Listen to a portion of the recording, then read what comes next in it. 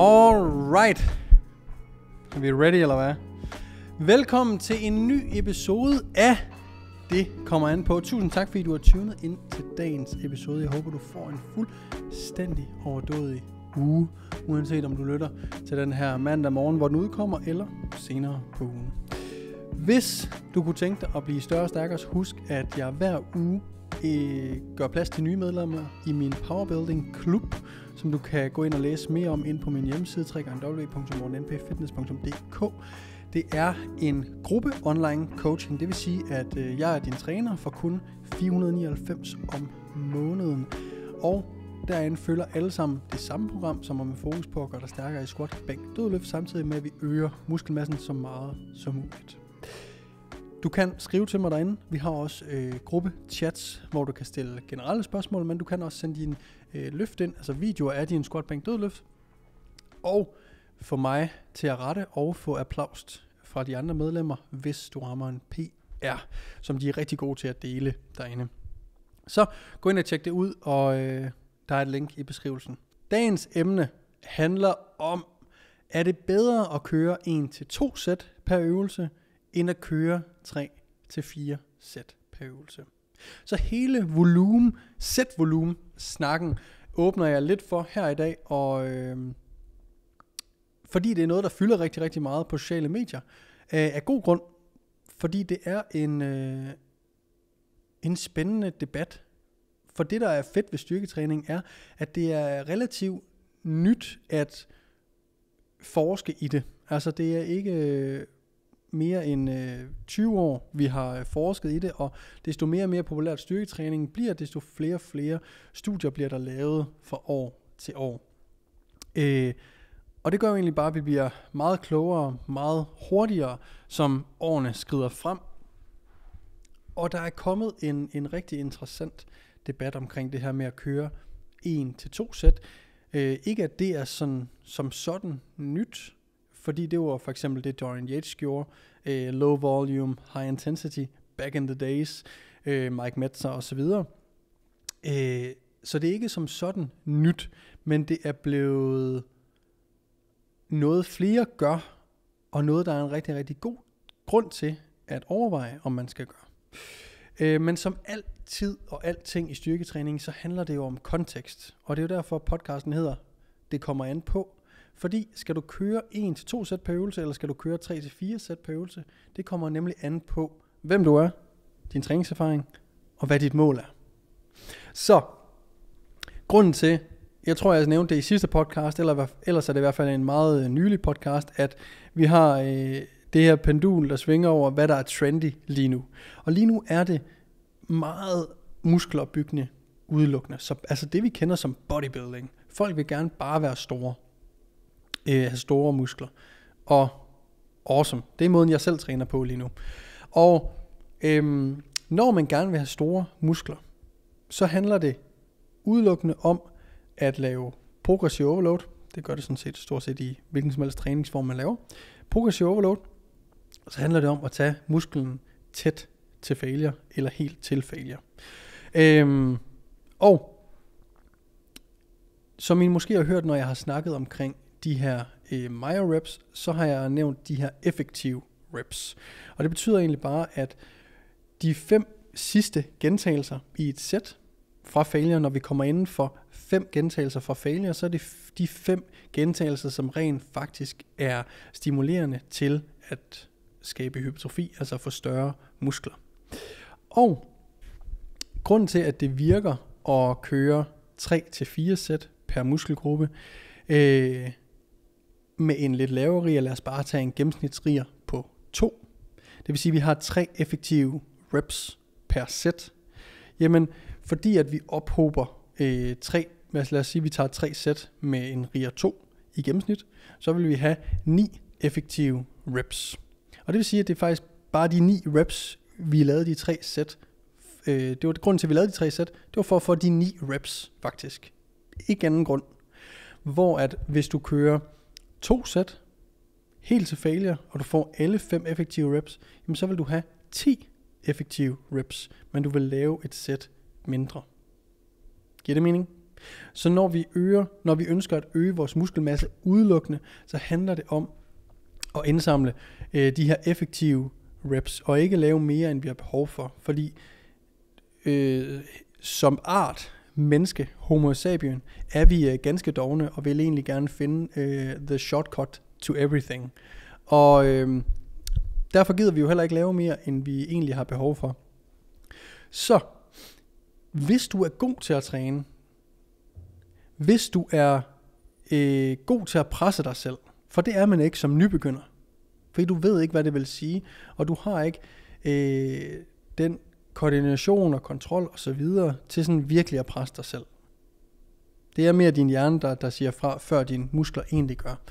Og for en nybegynder vil det her 1-2 sæt per, per øvelse ikke være noget, jeg anbefaler. Det vil være noget, der vil være super effektivt, hvis du er på et niveau, hvor du er rigtig god til at træne. Det vil sige, at din teknik er super god, også når du bliver rigtig presset. Og du er i stand til at presse dig selv til muskulær failure. Altså hvor du tager den ønskede muskel, hvis det er en lat øvelse, så din vingemuskel. Hvis du kan tage den muskel til failure, og det er ikke din teknik, det går ud over, så kan det være en rigtig, rigtig god idé, hvis dit mål udelukkende er at øge muskelmassen, at lave blot to, et til to sæt.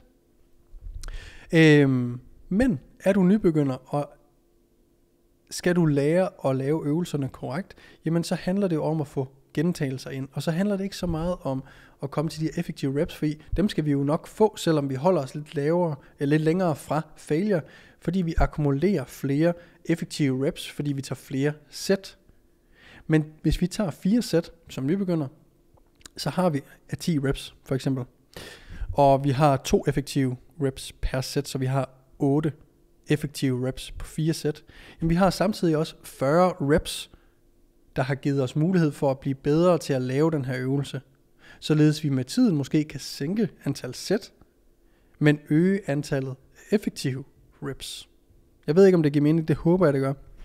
Så man skal vurdere, inden at man bare, øh, og sådan er det med al styrketræning, at tage alting med grænsalt, husk at det handler om konteksten osv., men folk der siger, at du skal bare køre til failure, og du skal kun køre et til to sæt og sådan, det er måske rigtigt for dig.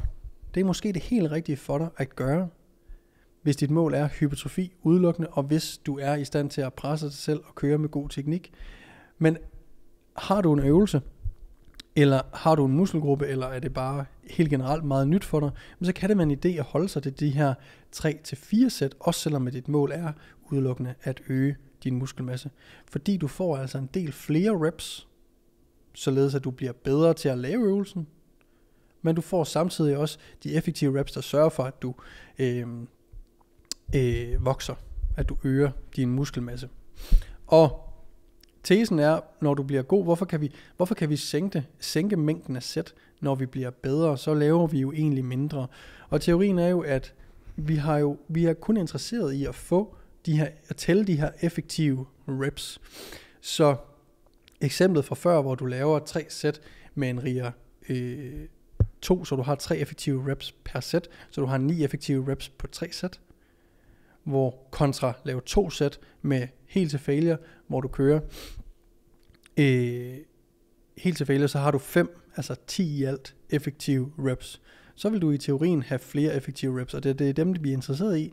Derfor kan vi slippe afsted med at lave færre sæt per muskelgruppe, men faktisk få det samme eller mere ud af det.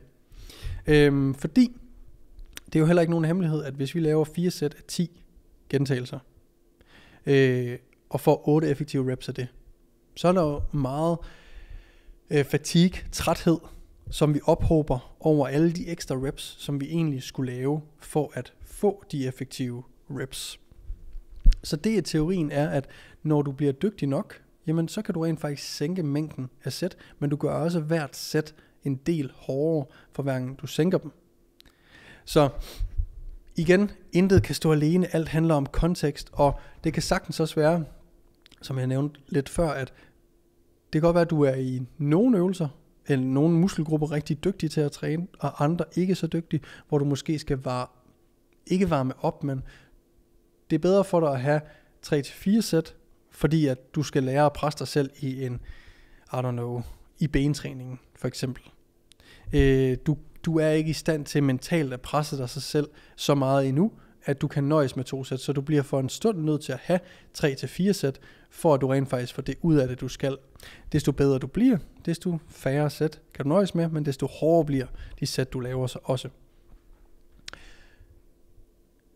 Er dit mål, er dit mål ikke udelukkende at øge din muskelmasse, men er dit mål for eksempel at øge din styrke, lad os bare sige squat, bænk, dødløft, jamen så er de her, så tænker vi ikke lige så meget over de her effektive reps, fordi vi ønsker at blive stærkere. Og her handler det ekstremt meget om teknik og at eksponere kroppen for tungere vægte, mere belastning, og samtidig holde en perfekt teknik, og stadigvæk kunne fyre igennem med musklerne. Så her kører vi ofte en del lavere reps, men også en del flere sæt, fordi vi ikke har så mange reps per øh, øvelse. Så det her med de lave reps, øh, undskyld, det her med de lave sæt, 1-2, øh, vil være noget, der kun er relevant for dig, som ønsker at øge muskelmassen udelukkende.